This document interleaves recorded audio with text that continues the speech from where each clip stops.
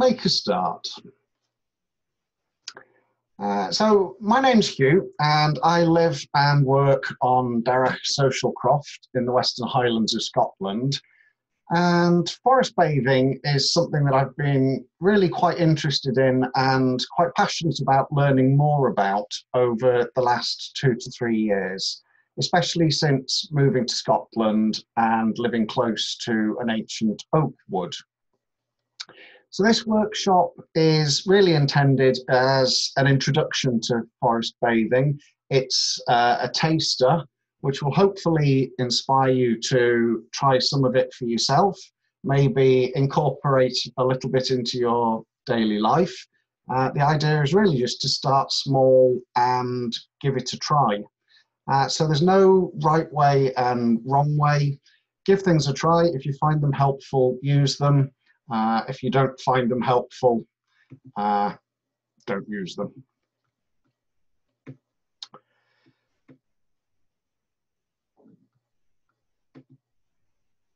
So I'll give you a bit of background to uh, the workshop really.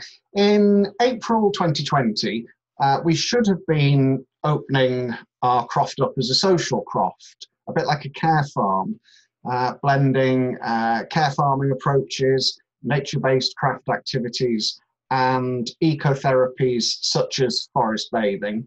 Uh, but unfortunately, this all got a bit delayed by COVID-19.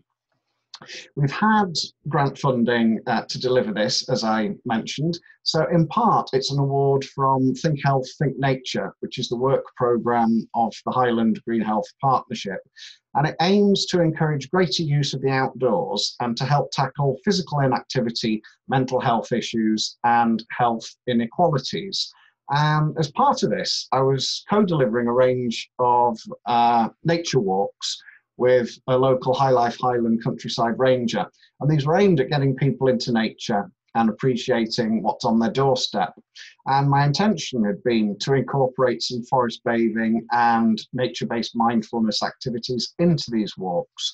However, as we're currently not able to run them, I'm running these online workshops instead, really to enable you to have a go for yourself.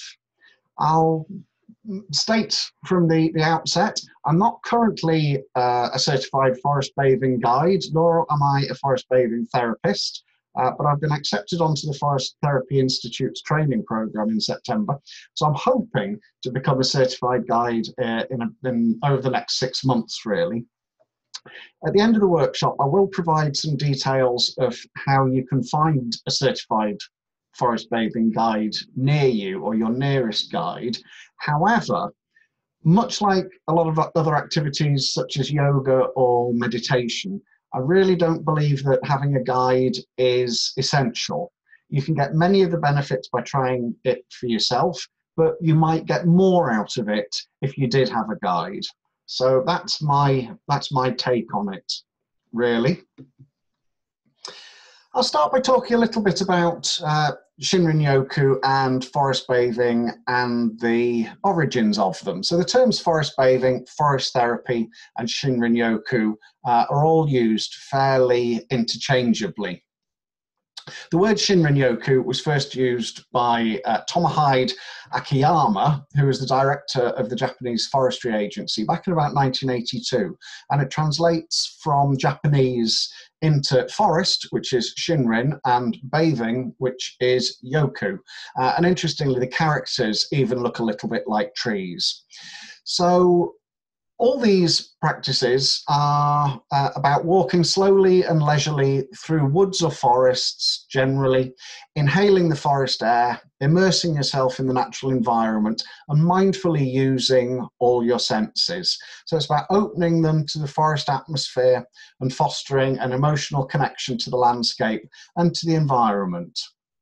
And the idea behind it is really just to help you relax much more than it is to designed to raise your heart rate. So whilst uh, a usual forest bathing uh, activity uh, or outing might last two to three hours, it's not unusual to only cover a quarter of a mile or half a mile in this time. And usually people will engage in forest bathing activities maybe once a week or a few times a month. Again, it's a little bit like yoga. Practice builds the benefits, uh, and the more regularly you do it, the more benefits you tend to find. That said, though, you don't really need to go out and to explicitly practice forest bathing or, or Shinrin Yoku. You can really incorporate it into just a leisurely walk, which was fairly much the way that, that I used to deliver it on on these uh, nature walks for, for well-being that we went on. Uh, so some other cultures have, have slightly similar takes on the benefits of being in, in nature.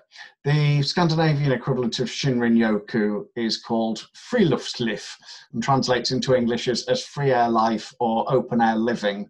And it's a term first coined by the poet Henrik Ibsen, who use the term to describe physical, psychological, and spiritual benefits that you get from spending time outside. And the Scandinavian countries usually appear in the top rankings in the World Happiness Report. And it's often thought that an appreciation of, of nature is seen as, as a contributing factor in this.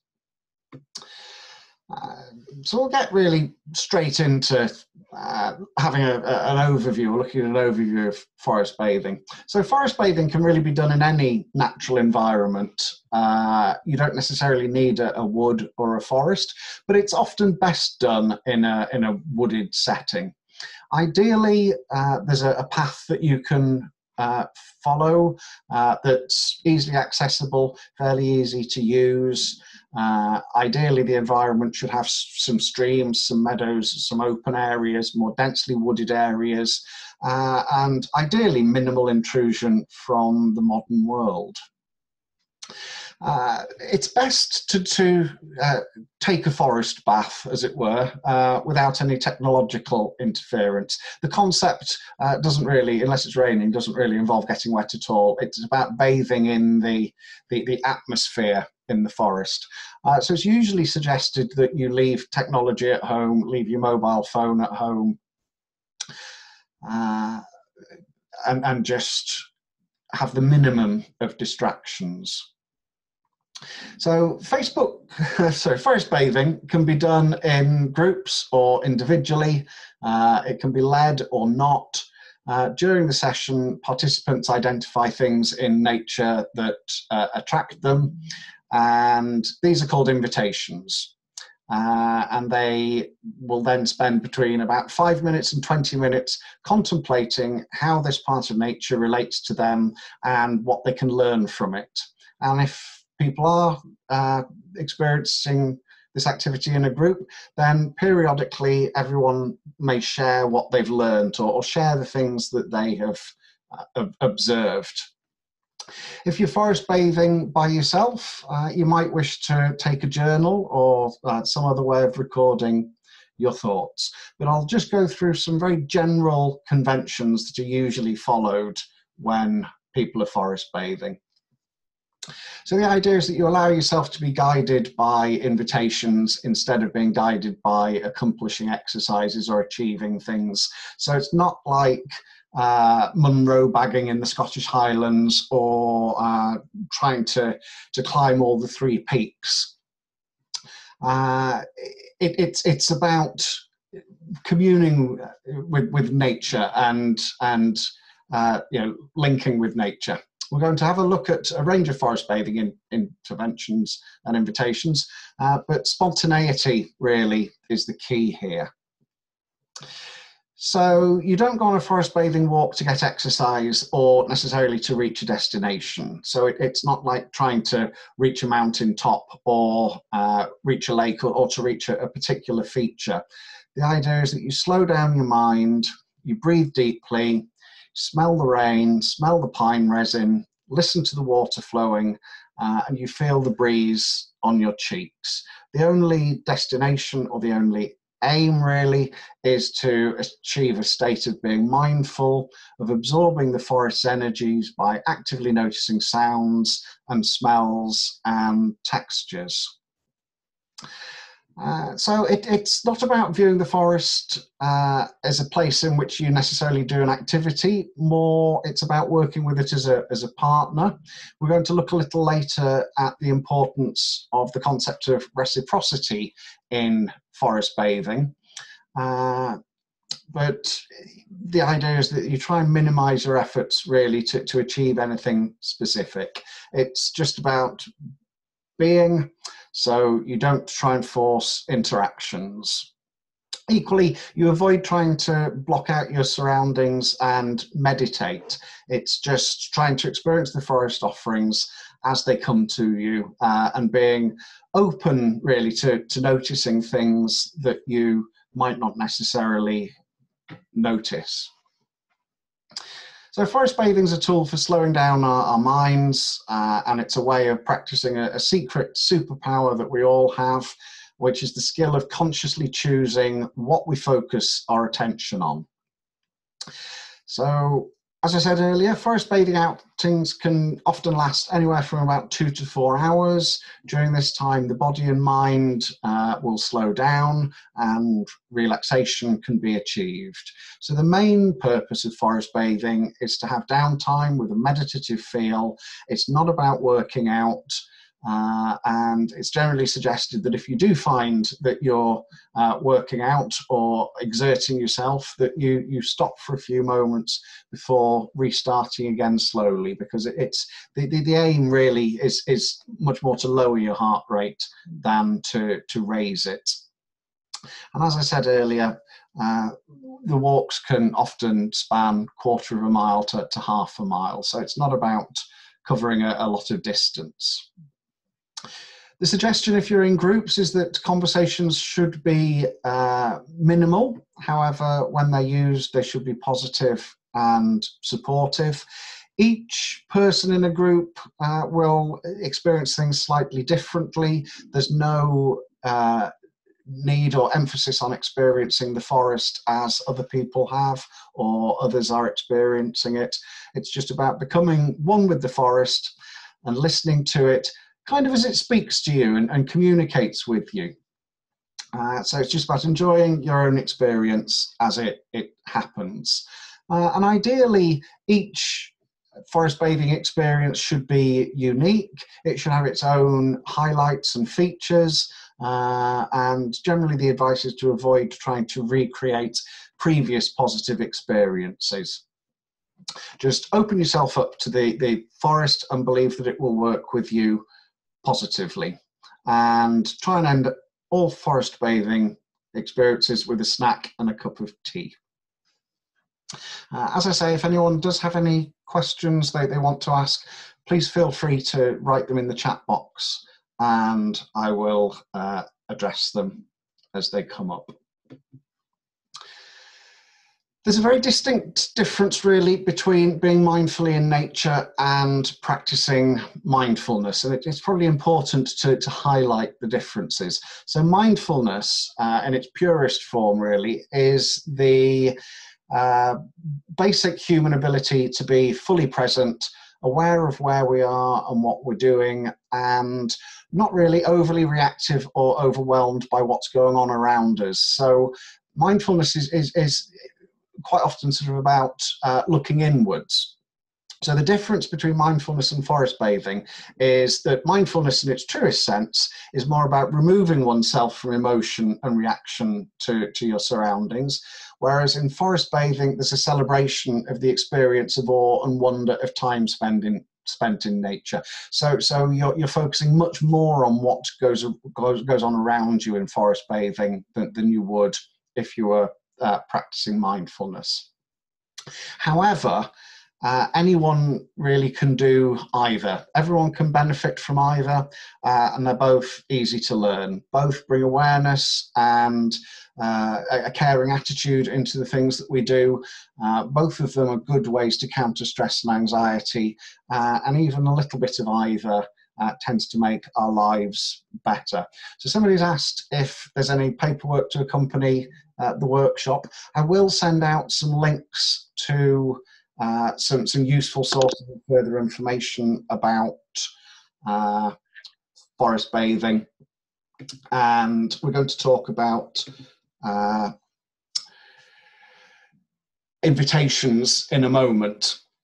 And I'll send you some links to uh, some information about forest bathing invitations as well. Uh, so there's lots of research into forest bathing, which suggests that there are many physical health benefits. Uh, forest bathing reduces cortisol levels, and cortisol is the hormone released when we experience stress.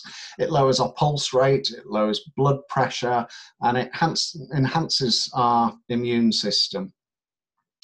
And also, it's, it's been shown to have a, a, very positive effect on sleep. In a study with people experiencing insomnia and poor sleep, forest bathing was used to induce relaxation, and over a three month period, participants saw a marked improvement in their sleep cycles, uh, which uh, in part, uh, they, they, I think, because they also reported much lower levels of anxiety. Uh, and this leads us quite nicely into the psychological benefits of forest bathing.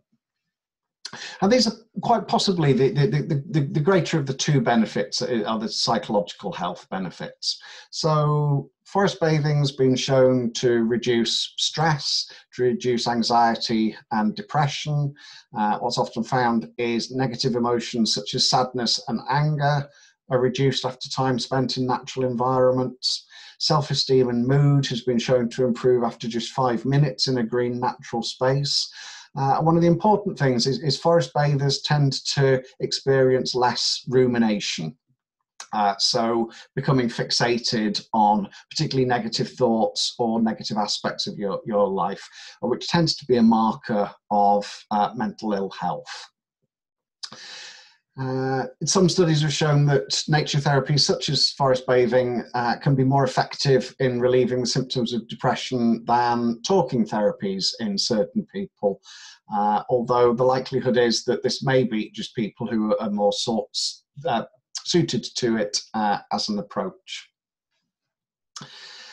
Uh, equally, attention uh, and focus is, is often improved by forest bathing. So research shows that children and adults, both those with and without attention deficit hyperactivity disorder or ADHD, uh, who spend time in nature have improved attention span, cogn improved cognitive functioning, improved impulse control, uh, and that overall they found spending time in nature improves attention, memory, and focus.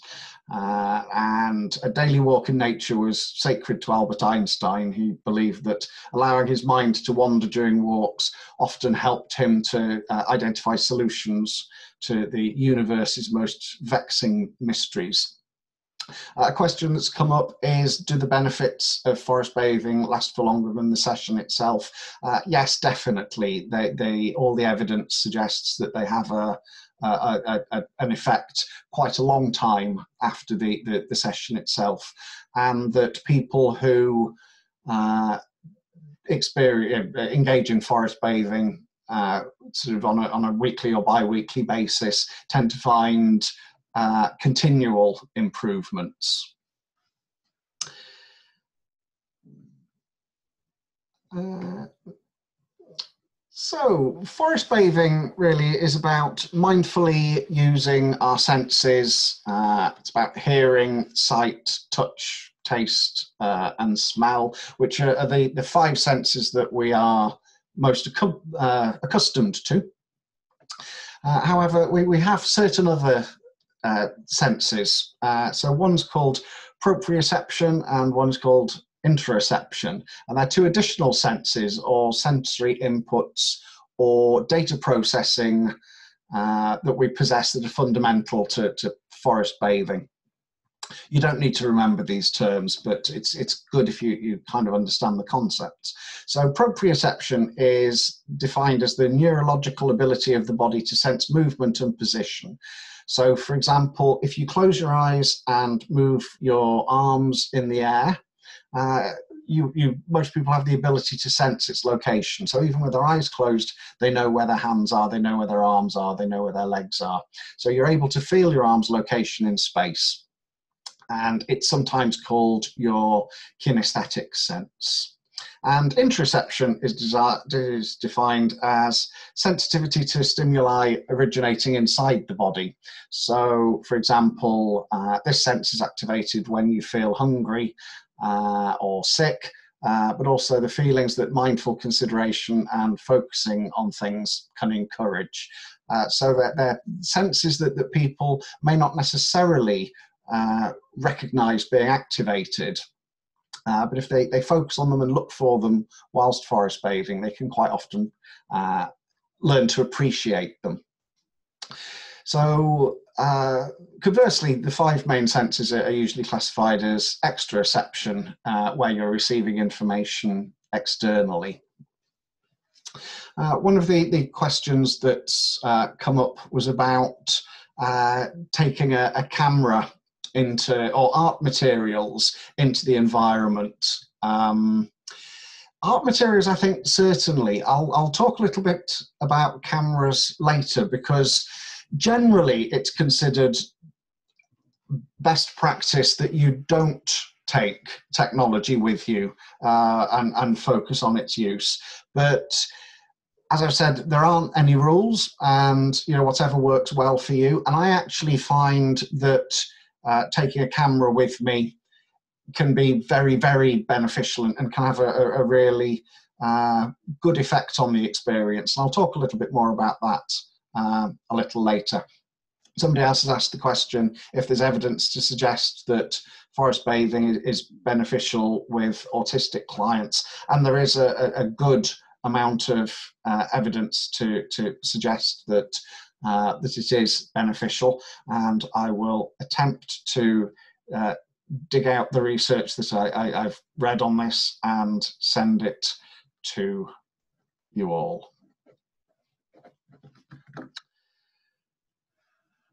So moving on really to, to invitations, which are the the the the, the key uh, feature really of, of forest bathing.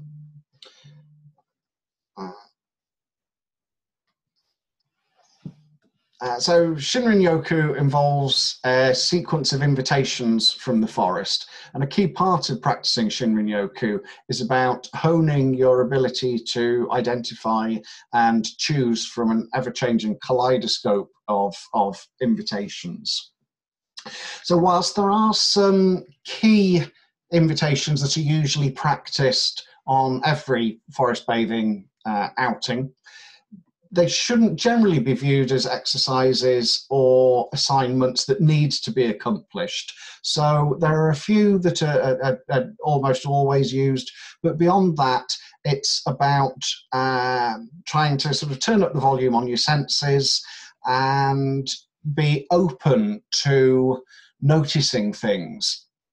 Uh, so it, it, it's potentially a bit like a, a, an improvised dance routine uh, so with the, with the forest as your, your dance partner.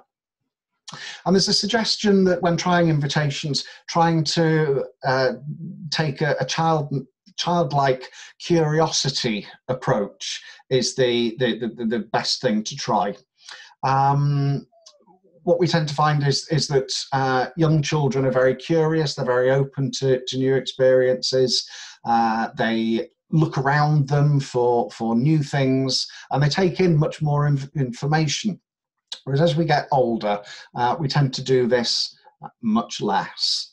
So, forest bathing invitations are activities that encourage you to consciously engage with the natural environment around you.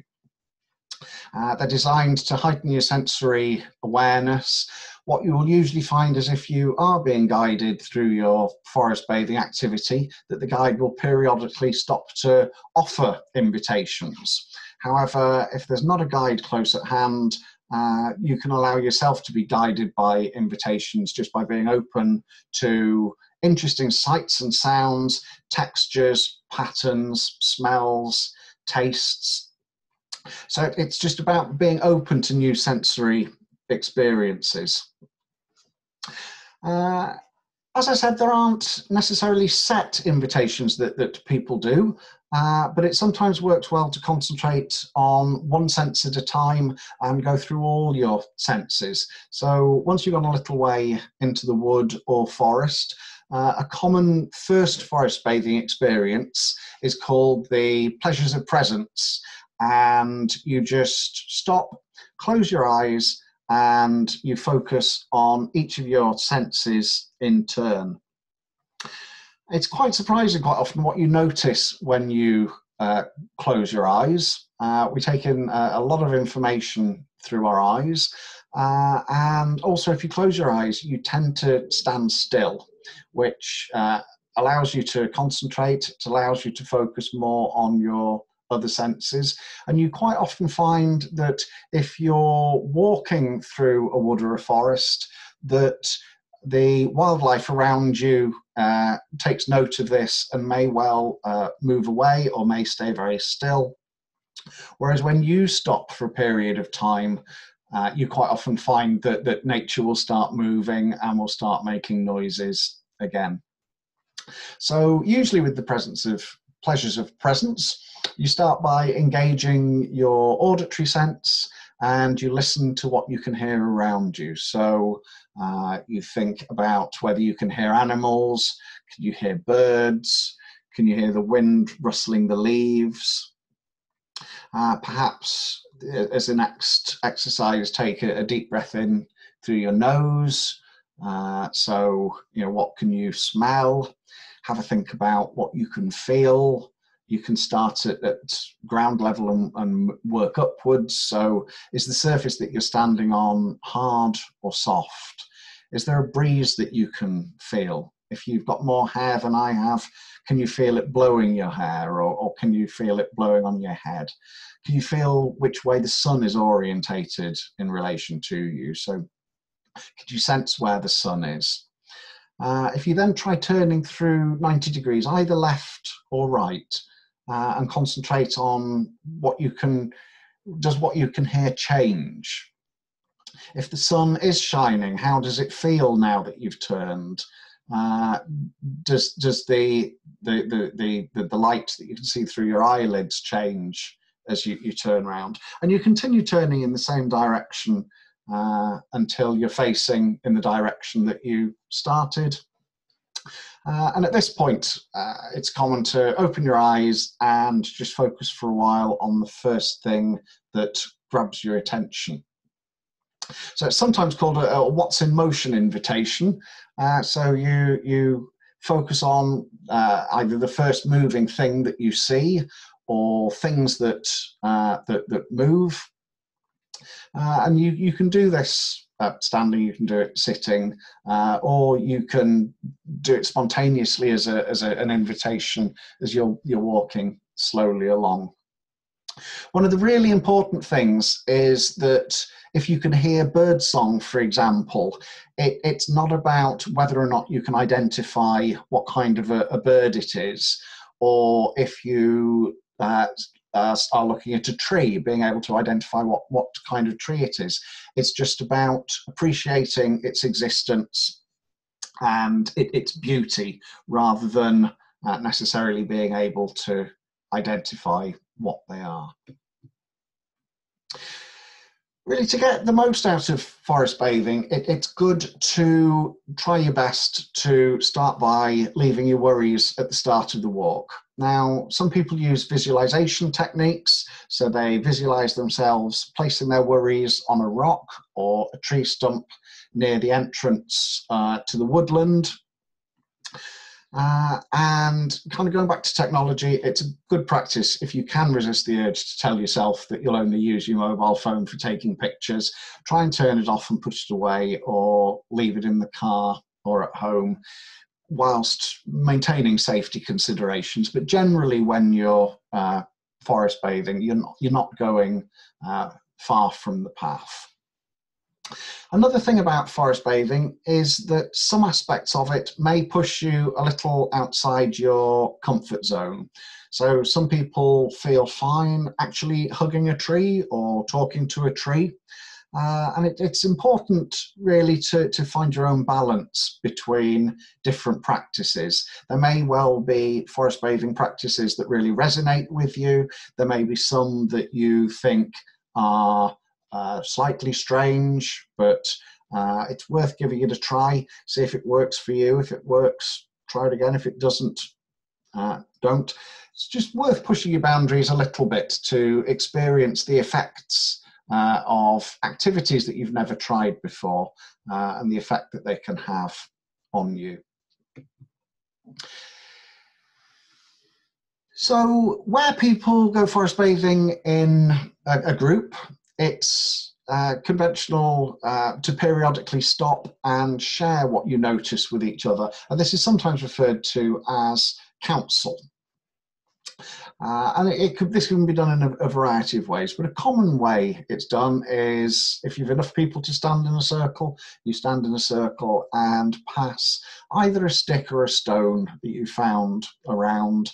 Uh, and the person with the stick is the one who speaks, and uh, generally the others will listen without interruption. And it's usual that the person, when they start sharing, uh, uses the prompt, I am noticing. And once you've finished describing or sharing what it is that you, you've noticed or that you've seen, you pass the stick or stone to the next person. Uh, and this carries on until everybody has uh, commented and shared the things that they've they've seen. And it's usual for people not to comment on what other uh, people in the group have, have said. Uh, just accept them and uh, take them in. Receive them with an open heart and an open mind uh, and try and avoid analysing or being judgmental if it resonates with you and you're forest bathing alone, you can share what you're noticing with the forest. So you can talk to the trees, you can say to a plant, uh, you know, I am noticing the delicate spider's web that goes between your uh, stem and the stem next to you. You can also journal your thoughts, uh, which can which works for some people. Other people find it time consuming. Uh, one of the things about saying things aloud rather than just saying them internally is that they tend to log them into your, your memory much better. So, in the same way that when people are learning lines, uh, actors are, are, learning the lines, they'll tend to say them aloud because it tends to, to log them in your, your memory much better. Equally, if uh, stopping and drawing is your thing, then really feel free to do it. So we're going to look at the, the main part of the, the uh, forest bathing approach, really, which is looking at different invitations. And invitations can be divided into the senses that, I, that they appeal to, uh, but quite often they're divided into the four elements of earth, air, fire, and water instead. And the idea is that earth invitations can help to foster your connection to the physical world.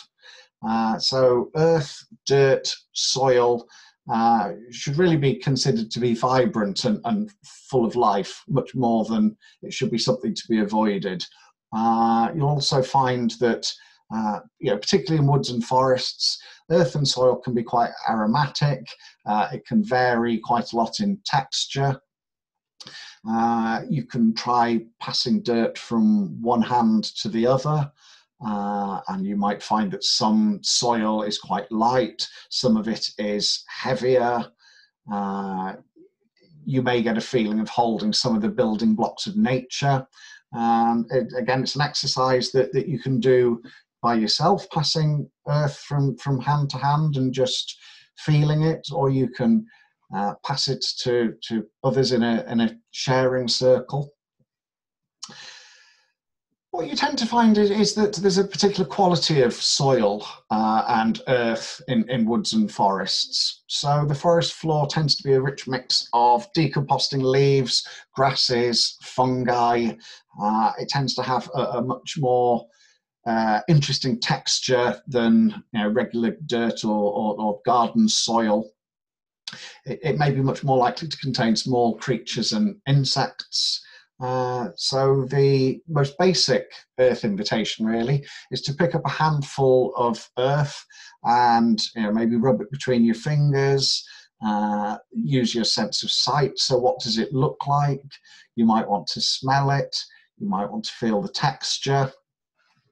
Uh, once you've done those, if it's something you feel comfortable doing and there's no obvious reason not to do it, uh, you might want to taste some of the traces of dirt that are, are left on your fingers. Um, certainly, where it, it's healthy dirt and not polluted, there's research that suggests that uh, exposure to, to, to small amounts of soil and earth can, can uh, improve people's immune system and make them more resistant to disease rather than less so. So this kind of earth invitation uh, appeals to sight, to smell, to touch, and possibly even to taste. One of the most obvious uh, earth invitations that you can engage in is walking barefoot. Uh, so it will certainly depend on uh, you know where you are, what kind of surface you're walking on, potentially even the, the, the temperature. This is much more of a, a summer activity than, than maybe a, a winter activity, if it, particularly if it's snowing.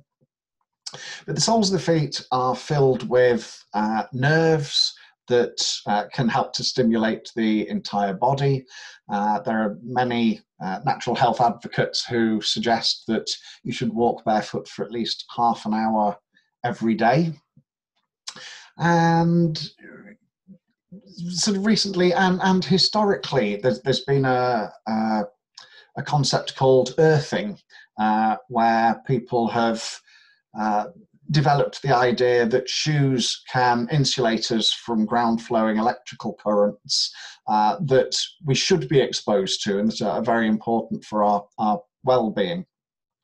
So, sometimes referred to as grounding, it's essentially the, the practice of uh, having bare skin in contact with the ground, and again is believed to improve uh, the immune function.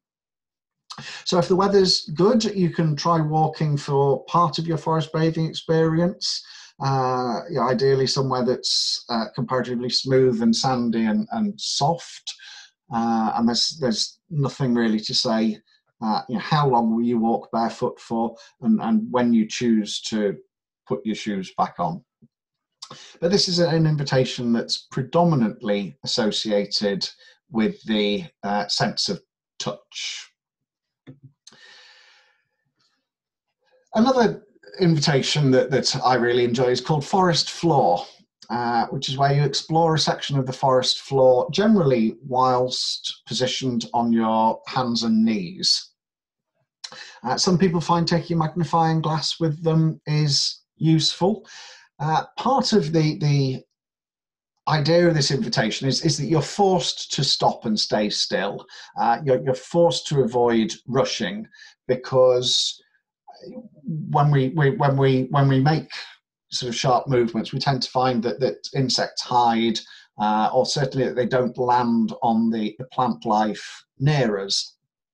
Whereas if we stay still, uh, we'll often find that the insects that we haven't noticed will start uh, start moving again, will start landing on the, the, the plants around us.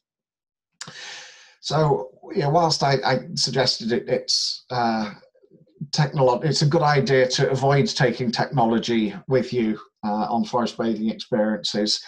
I get really into what I call mindful macro photography. Um, where I try and look for things that I wouldn't normally see and photographs. And so, so this is an example of, of a photograph that I took. Uh, and I think this bug was probably maybe two or three millimeters long in its body. So uh, it really was looking up close. And so forest floor is an invitation associated uh, mainly with sight, but uh, you know it can be about touch it can be about smell so it's not necessarily just about looking for insects it can be about looking uh, very closely at a flower and you know looking at the, the pollen or, or the stamen uh, within the, the flower or the patterns of the flower. Um, one of the things that I'm, I'm particularly interested in is bees and bees tend to see in a, a, slightly different way to the way that we do. They, they can see a bit more ultraviolet uh, and quite often, the plants that appeal to bees, when looked at uh, either under ultraviolet light or, or using ultraviolet photography, have a, a, bullseye effect that channels the bees into where the pollen and the, and the nectar is. But quite often, if, if you look, uh, you can just about see these, these patterns on the, on the flowers. Uh, so Another Earth invitation is called holding the, holding the stone. So what we'll tend to find is that uh, the stones that we find will have been shaped and reshaped by nature over a, an exceptionally long length of time. Uh, so some will have uh, come from uh, you know volcanic sources, so they'll have been created in, in fire. Others uh, may have been buried for a long time. Others may well have been shaped by wind or by uh, water. And they're all really fairly unique. Uh, but the, the best thing to do if doing a stone invitation is to try and find an area that has a, a, a, good a good range of stones. So lots of different ones in different vary, varying sizes. So, you know, really look, look a bit up and down the, the edge of a stream. Try and find a stone that particularly uh, beckons to you, that calls out to you. Uh, and usually with this invitation, once you've found the stone, just before you pick it up, have a look round, you know, see where it is, uh, then hold it uh, and explore it visually. So you, you can turn it over, you can look at uh, you know, the, the, the texture that you can see. Uh, if you want, you can then close your eyes and continue to explore the zone using your sense of touch. So yeah, just think about you know what makes the stone unique. Try and take a moment to imagine what the stone's been through, how has it been formed. So if it is on the edge of a stream, you know, how long has it been a part of the stream? Has it been washed gently down from the mountains? You know, what kind of a journey has it had? Has it spent some of its time buried in the earth? Uh, you know, it, it, it may at some point have been subjected to massive amounts of, of pressure and then released. So the invitation is about thinking about stones and you know how they're formed what they've been through and really the the, the, the length of time that they've been uh, part of the landscape and the length of time they'll probably be part of the landscape you know long after we're gone. So this is an invitation most associated really with sight and touch. So moving on the next section that we're going to talk about is air invitations. So air invitations include anything uh, that involves breathing, smelling, uh, taking note of uh, motions caused by movements in, in, air. So there are, there are numerous air invitations, uh, but we'll look at a couple here. So one is called forest breathing. Breathing is uh, essential uh, to our existence, but much of the time we often don't breathe in a way that's considered correctly. Um, it, it's one of the reasons why many uh, activities such as yoga or often martial arts or meditation focuses on breathing. What we often do is that we breathe quite shallowly, meaning that, that our blood isn't as as oxygenated as it could be. Uh, and so this encourages you to, to slow down your breathing and to take deep breaths. And it's believed that the benefits of deep breathing are magnified and amplified whilst in the forest uh, because the air tends to be fresher, and the oxygen tends to be cleaner. Um, trees, we know, uh, act as really the the the, the uh, scrubbers of the of the air. And you can also find that certain parts of, of forests, particularly if you're near a waterfall, um, you, you can get you know, differently charged air. So uh, waterfalls tend to create a lot of negative ions uh, near them. So it's a very simple invitation, which usually involves inhaling slowly for about eight seconds, whilst fully expanding your diaphragm. So pushing your, your stomach out, taking a, a very deep breath, holding it for about five seconds, and then slowly breathing out again for about 10 seconds. And it's generally considered uh, a good practice to do it at least sort of five or six times. I think possibly one of my favourite uh, invitations is uh, one that's sometimes referred to as scratch and sniff. It works very well with trees such as pine trees. Uh, and in fact, pine trees bring a, a, a, a, myriad benefits. So the next time you're standing near a pine tree, uh, grab a pine needle either off the tree or from the floor uh, and scratch it with a fingernail and then sniff it deeply. Uh, and pine needles release uh, scents for, from the essential oils contained in them. And you can do it as well with other materials. Bark uh, will often have a, a, a, different smell if you if you sniff it. Wildflowers obviously have a have a scent to them. Uh, I said I particularly liked pine trees. Uh, pine cones can offer so many different invitations. Uh, you know, you can hold them in your hand, you can turn them over, so you can look at them, you can touch them, you can smell them. They're, they're a very tactile thing to just focus on for, for five or ten minutes. Going back to this childhood uh, curiosity thing.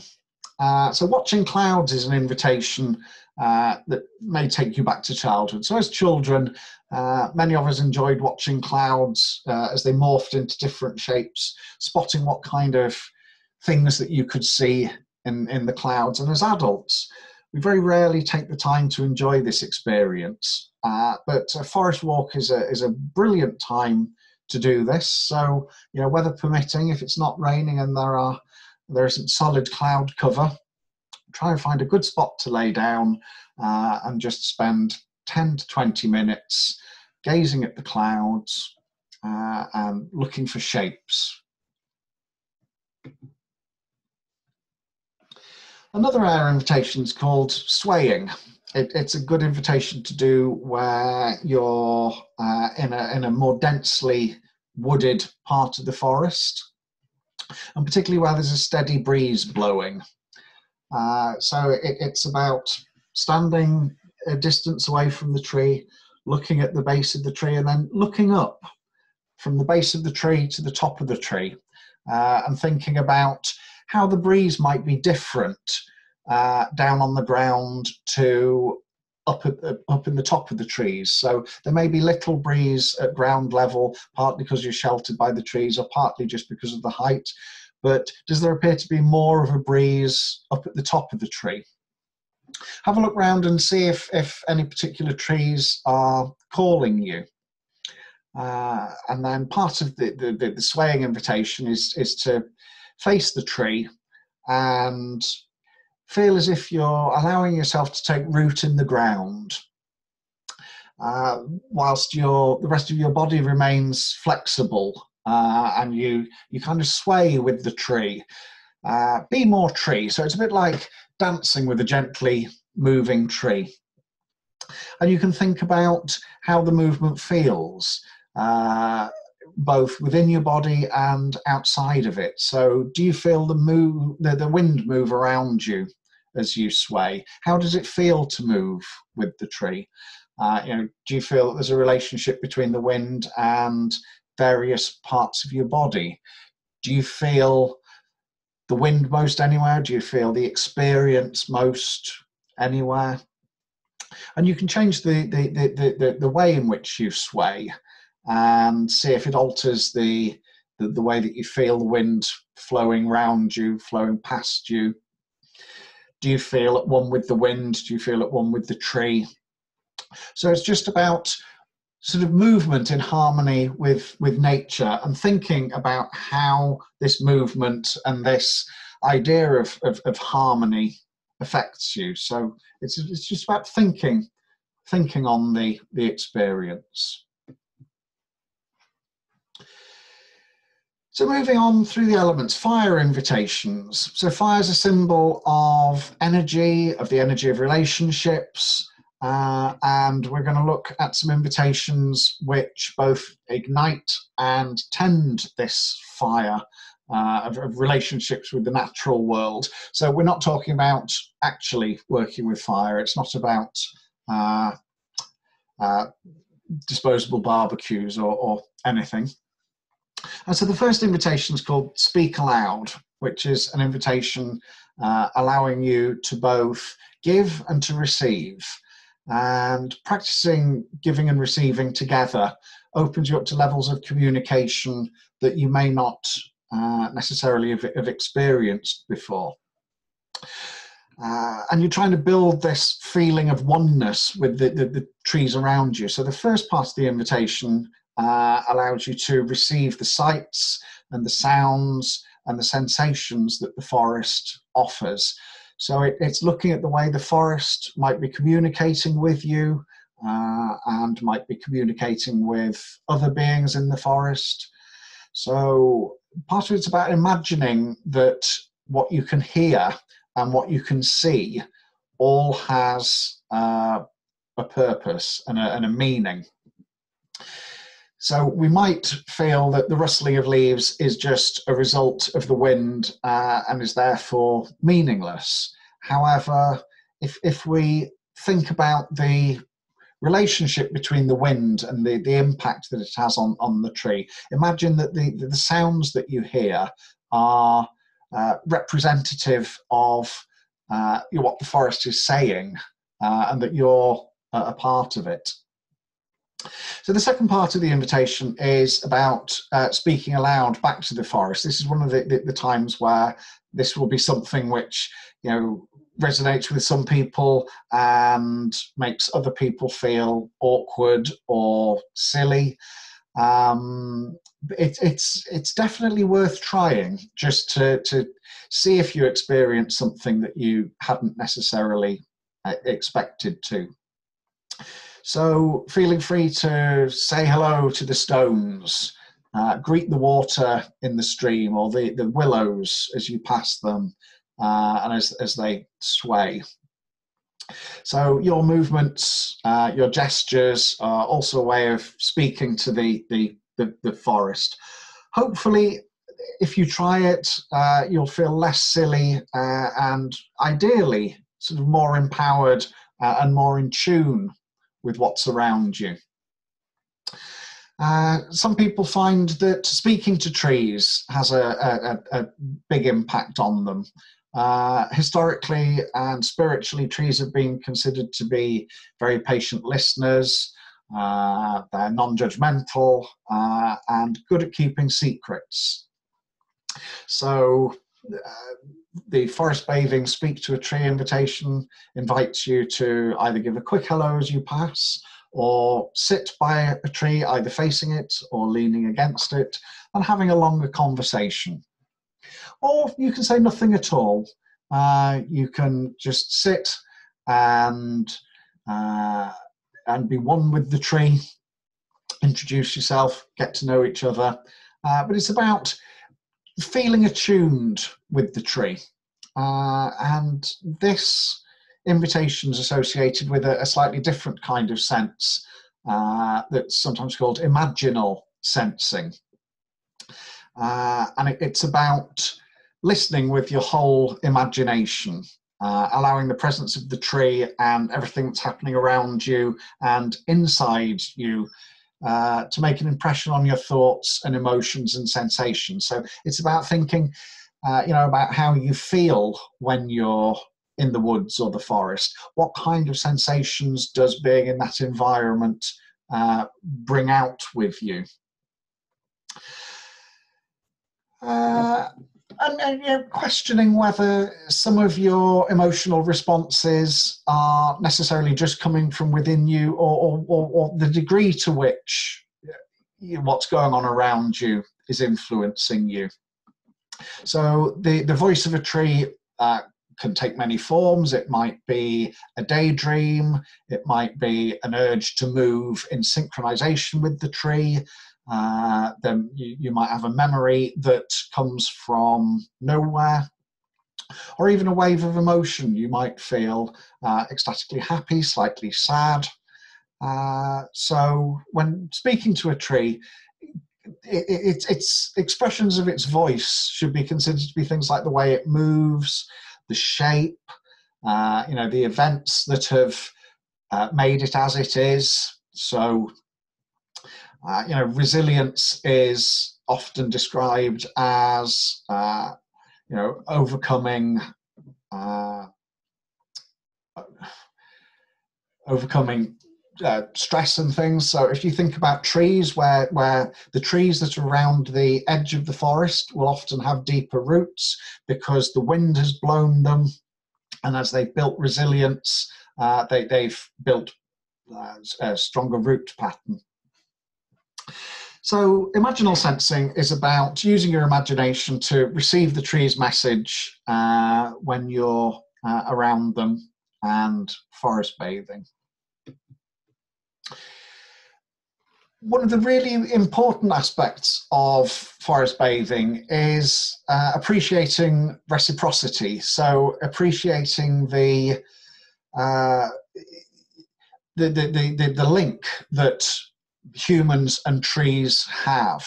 So when you're next outside, whether it's in a city and you're under a single big tree, or you might be in a small wood, or you might be in a huge forest, stop and think for a moment about the relationship that we have with trees. So, the leaves of the trees uh, use sunlight and they use water and they use carbon dioxide that they absorb to make plant sugars. And at the same time, they release oxygen.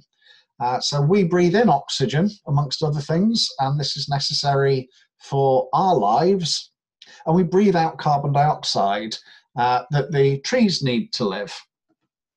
And so, thinking about this cycle uh, of, of, reciprocity and reciprocal breathing is all part of the, the overall forest bathing concept.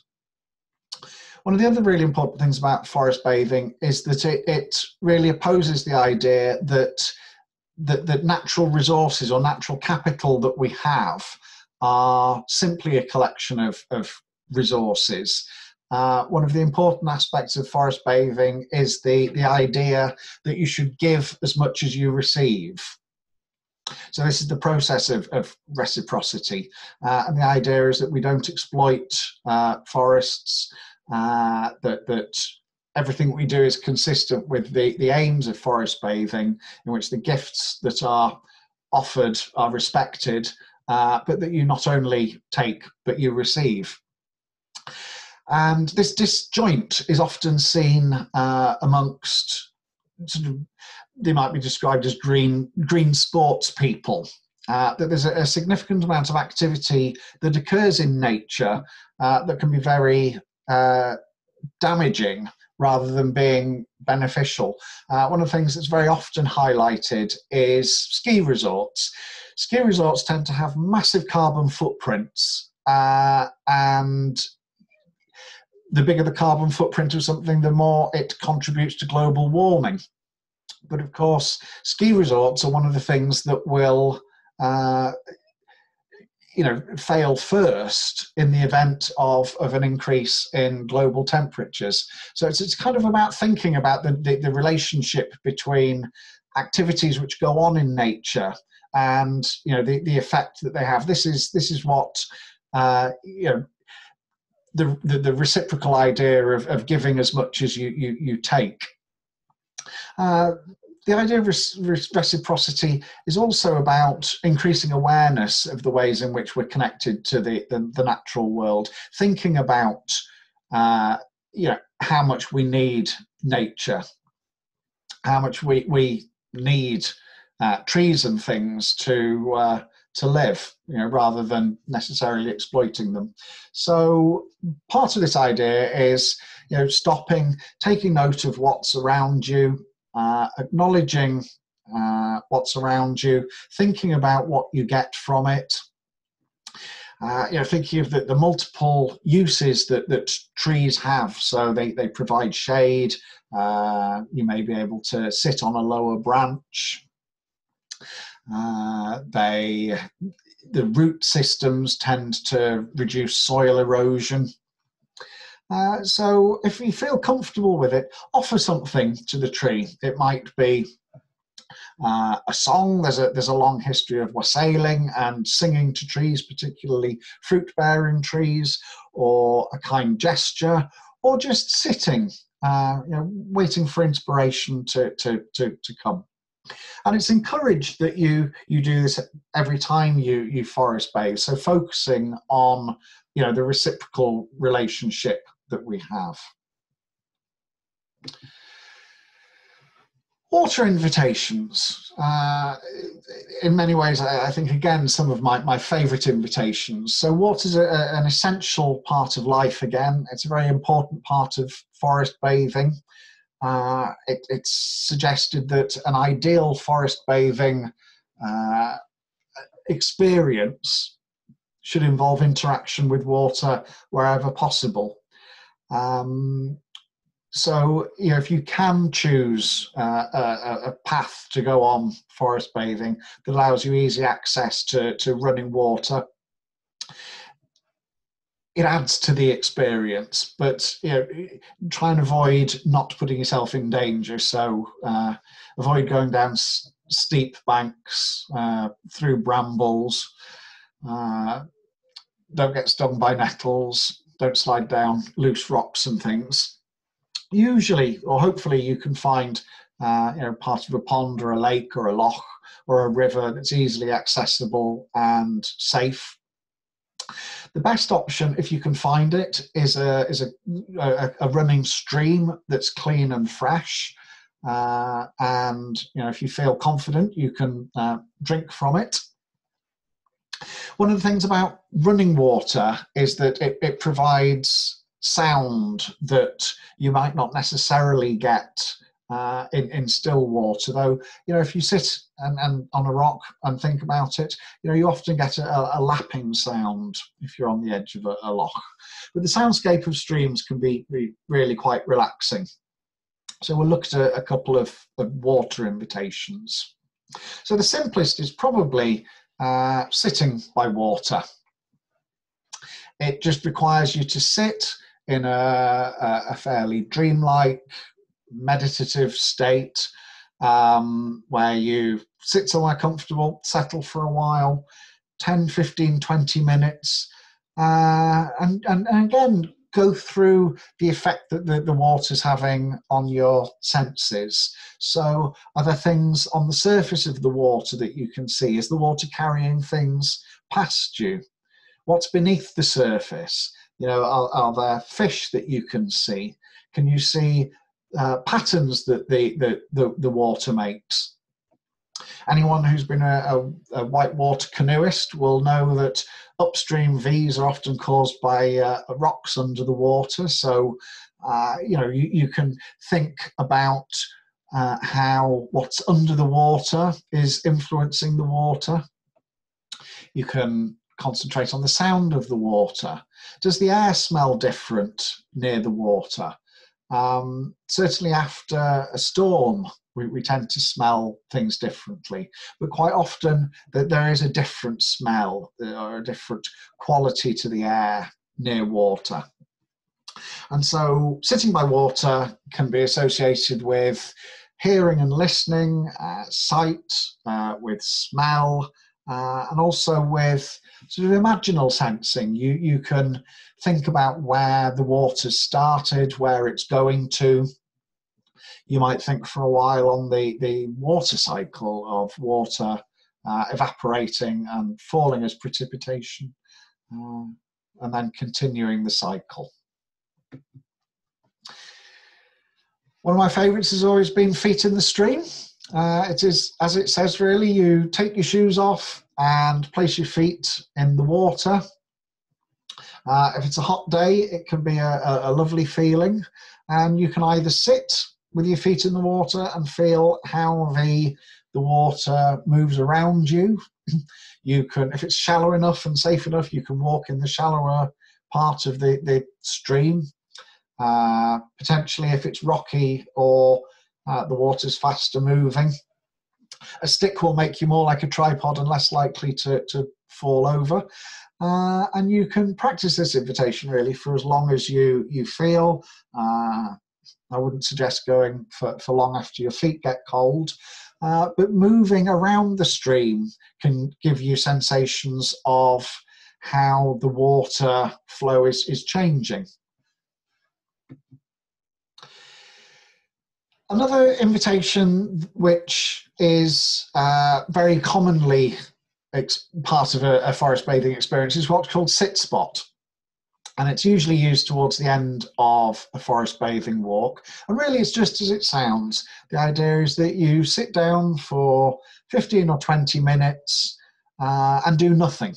So, just sitting is something which we rarely do, but it, it can often provide a, profound bonding with nature. One of the things that people quite often find if they're walking or hiking is that they're thinking quite a lot about where they're putting their feet, much more than they're taking in their, their environment. Whereas if you just sit and look around and take in the things that you see, look for things that you wouldn't necessarily find you know, you can look from the distance to the to, to what's just in front of you.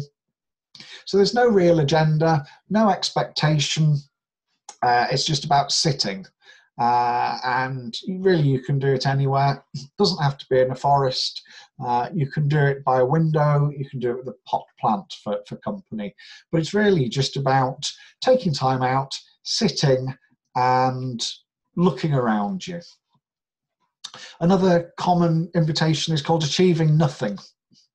Uh, so, uh, part of uh, a forest bathing experience can be just allowing yourself to let go of any plans or any achievements or any goals or any intentions that you have in mind. Uh, it's just about not not attempting to do anything uh, really and, and taking then taking note of of how you feel. It, it's it's very much a mindful activity which is uh, about really being in the present um, being in the moment. So it's it's trying not to concern yourself with what's happened before the forest bathing experience or anything that you need to do afterwards.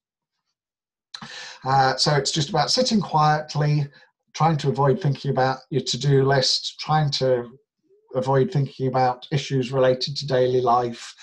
Uh, this isn't necessarily that you try and exclude these things. If they do intrude into your thoughts, just identify them and let them go. It's just about not dwelling on them uh, and not ruminating on things. And also, sitting. The beauty of sitting quietly is that you'll often be surprised by the number of, of uh, creatures and, animals that you, you see using this process. So it may be that uh, you just don't notice some of them, they're always there, or that by sitting very quietly, the animals have become much more accustomed to your presence uh, and this connection just happens. So really that's the, the, the end of the different uh, invitations. As I said, one of the uh, common themes within forest bathing, and quite possibly because it's got its roots in Shinrin Yoku and, and Japan, is having a snack and a, and a cup of tea at the end. So if it's something you're proficient in and confident about, uh, you know, you can pick berries to eat, you can uh, pick leaves that you can either eat or, or make a drink from. If it's something that you're not 100% sure about, uh, you know, take supplies with you rather than risking eating or drinking something that might have a detrimental effect on you. Um, but if it's something that you that you're going to do regularly and you enjoy, uh, Kelly kettles or uh, volcano kettles, as they're called, are really really useful. Uh, it's a it's a hollow kettle, and you build a small fire in the uh, in the, the, the container at the bottom, and the, the kettle acts like a chimney. And I've seen people have a have a race between uh, an electric kettle and a Kelly kettle, and they, they burn, particularly dry wood, very very quickly, uh, and they they they'll, they make a, a good brew, and very very fast. Which brings us on to the end of, of the walk. As I said at the beginning, the idea is that uh, you, you try your best to leave uh, your, your, worries and your baggage uh, at, the, at the, the, the, gates to the forest as you go in. Uh, and if you feel that you need to pick it up on, on the way back, look at where you left your, your, your mental baggage, uh, and hopefully uh, you'll have found that by engaging uh, in forest bathing, by uh, participating in, in sort of nature-based mindful activities, the, the, the, issues will become smaller while you're away. And it's also uh, common practice to, to look back at where you've come from uh, and try and identify or notice three things that you've experienced uh, that have made you feel good. I said that uh, I'd, I'd, give you information about uh, forest therapy guides. There's a, an organization called the Forest Therapy Institute, which is uh, a predominantly European organization of forest guides and forest therapists. This is their uh, web address. I will uh, include it in some handouts that I, I send later or tomorrow. Uh, but that's it really. Does anyone have any questions that they would like to ask? Uh, I can, if you want, wish to unmute yourself and ask them verbally, please feel free, uh, or feel free to type them.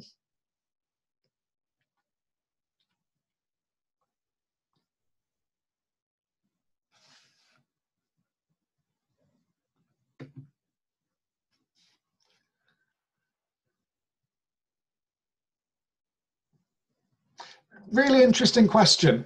Would you encourage bringing a pet? There, there is there are books uh, about uh, taking your dog on a, on forest therapy experiences. I think it probably depends very much on the animal that you you have. Uh, I have two dogs, and one of them's uh, kind of good uh, for taking on on forest bathing experiences. On the whole, he tends to go and do his own thing, uh, and you you can sit quite quietly, and then he'll come back and join you quite quietly.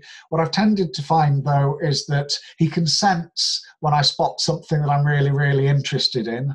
Uh, like a checkered skippered butterfly in the local woods, uh, and then comes thundering through, and uh, no more, no more lovely butterfly. Uh, but yes, it, it, it's you know if you find that in, interacting with your pet makes it uh, a beneficial experience, then absolutely do it. It, it really shouldn't be something with with rules. Uh, somebody's asked if they can see the website again. I'll, I'll click back to that and you can uh, write it down. the usual group sizes of, of, of sessions, are, usually sort of four to six people is, is a normal session size. Um, when I've uh, done this kind of thing with the uh, High Life Highland Rangers, it, it's tended to be just the number of people who turn up, which is usually sort of uh, between four and eight. Um, so it, it's big enough that you can you know share experiences if if that's part of your experience, but equally small enough that uh, that you don't distract each other and that you, you can share. So would the sharing circle occur before the tea ceremony or during? Usually before. Uh, you know, and I think the tea ceremony is a time to, to sit and, and socialise a bit more. The thing with forest bathing is is it's about getting a balance between uh, you know sociability and impacting on other people. So if other people are trying to concentrate on sounds and, and you're having a, a general chit chat with uh, someone else, it could uh, it could put them off. Uh, somebody else has asked, how often do I get to bathe in the forest myself? And I think the answer is probably definitely not as often uh, as I would like. Um, as I say, I, I, live and work on a croft, which at the moment is is taking up an enormous amount of my time, and I get out far less frequently than I should, or would like to, or would be beneficial. Uh, and I am a very great believer in the Zen Buddhist suggestion that you should spend 20 minutes a day uh, in mindfulness or meditation, and that if 20 minutes is too long for you and you haven't got the time, then you should be spending an hour a day on it. So uh, it, it, it's, but it, it, doesn't necessarily need to be really something that, that that's planned. One of the I, I I talk quite a lot about mindfulness in other things that I do, and when I was first introduced to mindfulness, you know, it was about a, a longish experience, 15 to 20 minutes of sitting and breathing, uh, which works for some people and it doesn't work for others. Um, I've found that a minute or two of mindfulness can have a, a, a great effect. So you don't necessarily have to make each forest bathing experience uh, you know a big activity. It can just be about stopping for five minutes and just looking at a tree stopping on your way home walking through the park and just looking around you know maybe slowly turning 360 degrees and just noting the things that you walk past every day and don't notice uh, one of the things that concerns me, I think, is I've, I've lived in the Highlands of Scotland for three years, and I think I'm beginning to become a little more complacent about the beauty of, of, of where I live. And I certainly notice that people who've lived here all their lives don't notice just how, how, how lovely it is. Um, do I have any specific locations to share? Is it a trade secret? It's not a secret at all. Really, anywhere that you can uh, that you can go. As, as, I say, I'm very fortunate to live within walking distance of, of the Ariundle Oak Woods, uh, and the Ariundle Oak Woods are uh, a remnant of the old Atlantic oak woods. So there, there was a, an oak wood that ran down the, the west coast of Norway uh, and then the west coast of Scotland, uh, through Scotland, through Wales, uh, and down through Spain and Portugal. And there are only very little bits of it left. But uh, I'm, I'm, not entirely sure that when I, I, moved and it was described as a rainforest, that I was full of glee, because um, it does rain quite a lot there. However, one of the things that, that you, you, you really notice in this forest is the lichen on the trees. Um, so lichen tends to only grow on trees uh, that are uh, in, in areas of low air pollution. So oh, I can't remember the, the, the exact kind, but it's like sort of old man's beard. It's green and stringy. I'll find the, the, the name of it uh, and send it on. But yes, yeah, certainly look, look, look for places with lichen on the trees. Uh, how am I spelling it? It's A R I U N D L E. Um, and if you're trying to find it on a map, um, if you Google Darach Social Croft uh, and go ever so slightly southeast from us, you'll find it, but it, it's very, very close. Um, that's really it for this evening. I've got uh, I'm, I'm, quite happy to, to, carry on having chats with people uh, via email or over Facebook.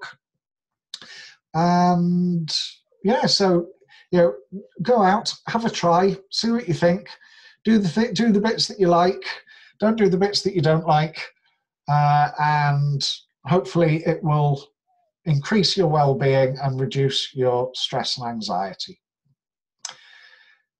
You're welcome. I hope you have a, enjoy the rest of your evening. Thank you so much. Oh, you're welcome. Thank you very, very much.